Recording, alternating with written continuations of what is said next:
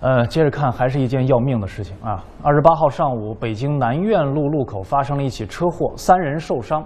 幺二零急救车赶往现场，拉着警笛，但是不仅车辆不让，还有车加塞儿，救护车原地被堵了二十分钟。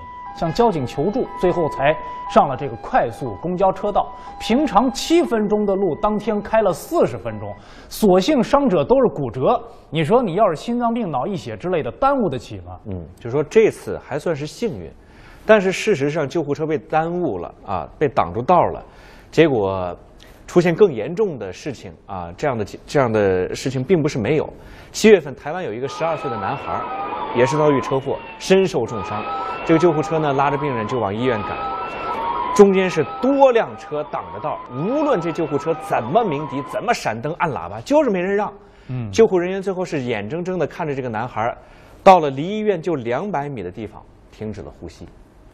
生命诚可贵呀，咱们这句诗早就会说啊，救护车每分每秒都是和死神在赛跑，道理谁都知道。我们听听网友的观点。网友凌霄说啊，有时候确实没办法，整个路都大堵车了，不是不想让，实在是让不出地儿。呃，周夸克说，这年头拉警报的太多了，谁知道是不是去送孩子上学的呢？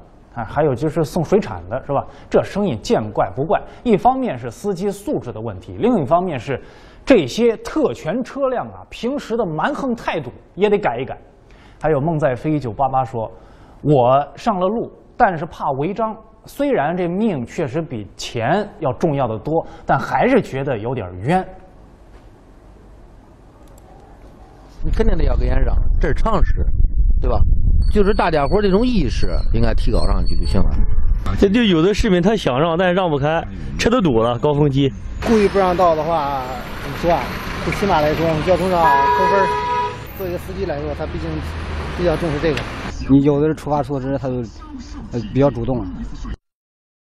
嗯，除去这个路上是真堵的，那还有刻意加塞儿的，是吧？你这不是跟救护车讲道，你蒙谁呢？你比阎王爷还狠，是吧？现在北京正在起草一个急救条例，规定啊，社会车辆拒不让行的行为将视同违法。法律当然是硬性了，但是我们非要那么不堪吗？给别人生命多一次机会。